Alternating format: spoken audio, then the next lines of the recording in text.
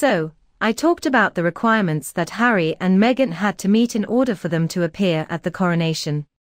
I spoke to a reporter, who was absolutely sure he hadn't been invited to the coronation. Interesting stuff. So he and his colleagues at a major UK newspaper were discussing a press release that Montecito had put out and had on their desks one March evening.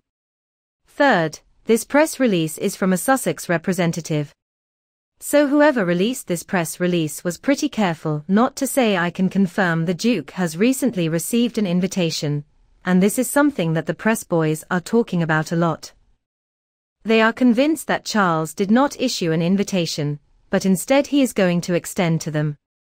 An olive branch is going to allow them to attend the coronation, and they are also assuming, which is a pretty well-informed assumption that Charles is all the branch, is going to come with some conditions attached. Which of course Meghan Markle is not going to be very happy about, and she'll probably just reject they are also saying that it is not going to be Harry's decision at all, but is not going to have any say in the matter. Well, I have to say, if we take a closer look, this carnation preparation is going to be pretty exciting and I think we'll have a lot of fun, probably more than we thought. And Villain D may be trying to get away with it. Bring your kids. I don't believe what they are asking, it's just AG. I think they are losing this game. I also noticed a small pattern in these press releases. It looks like they are doing this from the start to pave the way for Meghan's next lie. I assumed the email wasn't an official invitation, but Meghan and Harry were trying to convey it. You know very well that if they got a real invite, they would use it for Netflix.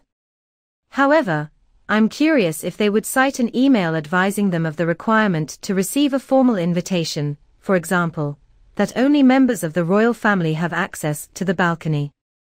And now, Meghan, you can't borrow any of the royal gems, they can't get front row seats, and neither Netflix nor your own team are allowed to follow them. Yes, you will undergo a recording equipment inspection. It's just Meghan and Harry's game, you want people to ask questions. Won't you be there? See, if people are made to play this game, they will think that the situation is under control. And King Charles will just be waiting nervously for a response, hoping two of the most important members of the family will attend the coronation to make it the biggest event ever. Even more amazing than her spectacular wedding. I mean, what is the poor king supposed to do with these two? Don't show up.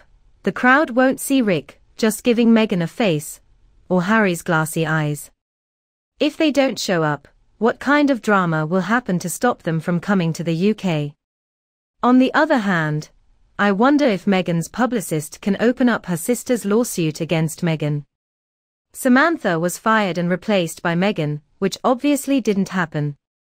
Then they could easily make a statement claiming that Meghan and Harry were indeed invited to motor country even though they weren't, and A.B. Ward, he got Meghan. I wouldn't be surprised if the people behind this award gave it to her, because they think she's just a royal with a reputation good enough to be a carnation. But if they found out otherwise that Meghan wasn't even invited to the coronation, they might want to hit the jackpot. Or was it just fake news trying to convince the judge to rule in Harry's favor? In her lawsuit against the Associated Press, it can be argued that the judge in Meghan's forgetting case ruled in her favor, because he believed she was a member of the royal family, and that they were genuinely in love, however, it is very strange that this PR team is not responsible for spreading so many lies. I am now convinced that Harry and Meghan must be among the most moral people on the planet. I've suspected for a while that they weren't actually invited, and I think the wording is very cautious and no official invitation is mentioned. Kudos to King Charles if it's his terms, and of course Meghan rejects his terms, which is what we all want in the end. Don't we think most of us can agree that would be best? It just doesn't come from either of them. Of course there will be some nonsense from California. Dot On this day.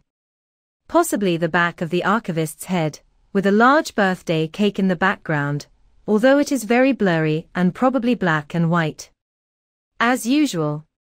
Believe me, a coronation isn't like the family celebration Meghan Markle says it is.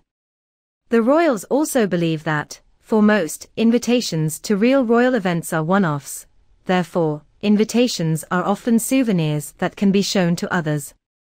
This is a once-in-a-lifetime event, no coronation invitations will ever be emailed. Hurry up. This is ridiculous.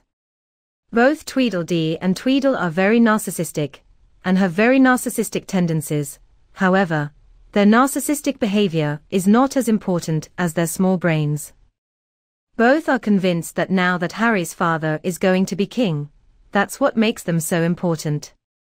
I mean, they knew it would go down in the history books, and they thought the history books were really thick. So we have to get there. Look like a narcissist. They know this is going to be a big deal and it will go down in history. So the two of them are convinced they have got to be there, and they're going to do something to try to steal the king's thunder on the coronation day, because that's going to get their names written in the history book they believe and also it's going to get them some worldwide TV coverage, which is likely. So how are they going to try and upstate the coronation? I mean, they only have so many tricks in their hat, and I think they've already used every single trick they've got so I don't know what they're going to do. But they're going to do something to try to take attention away from the fact that the king is being crowned, because that is what people are interested in seeing. I mean maybe also people want to see if Archie is real or FA, and I've got a feeling that Archie Fishel is going to be right up there with the two of them front and center, because that is the only card they have left to play, and if they show invisible, well that's going to upstage even Archie. I will not be surprised if they put Invisibad first and foremost. No one knows the children are there until the coronation begins, or they are found. Maybe just a few seconds before the coronation starts, because they'll be like, oh, now all eyes will be on those two kids, not on the coronation of King Charles, or the queen consort. Narcissistic people tend to act like this and they don't care if others hate or hate them. They are just about getting attention, and how many photos are published. I can see it right now. It's going to be a circus with three arenas, but you know what? This is why narcissists love King Charles. In fact, you can't win this battle with these daffodils. The best thing to do right now is to walk away, and not give up on anything. I know Harry is your son, but he doesn't want to be your son anymore. I mean, I don't think he really was the same person for a long time. Meghan Markle is completely out of her mind, and nothing the king says, or does will change the fact that if he backs down a little, they are paying a lot. They will try to destroy everything he has worked so hard for. Harry has already created a rift in the family, so anything the king says, or does in front of Beatrice, and Andrew will be thrown at Harry, because the narcissist will never let him breathe even for a minute. Sorry, but the king has spent enough time with these two patients that it's time to move on, time to ignore both of them and start focusing on the most important things in life. I mean, King Charles still has a lot of support and love for his family. So why does he care about Harry and Meghan? I know it's sad to cut off my son, but sometimes it's necessary. The more I look at what they did, the less it will affect him. This will eventually cause them to disappear into nothingness. That's where they belong.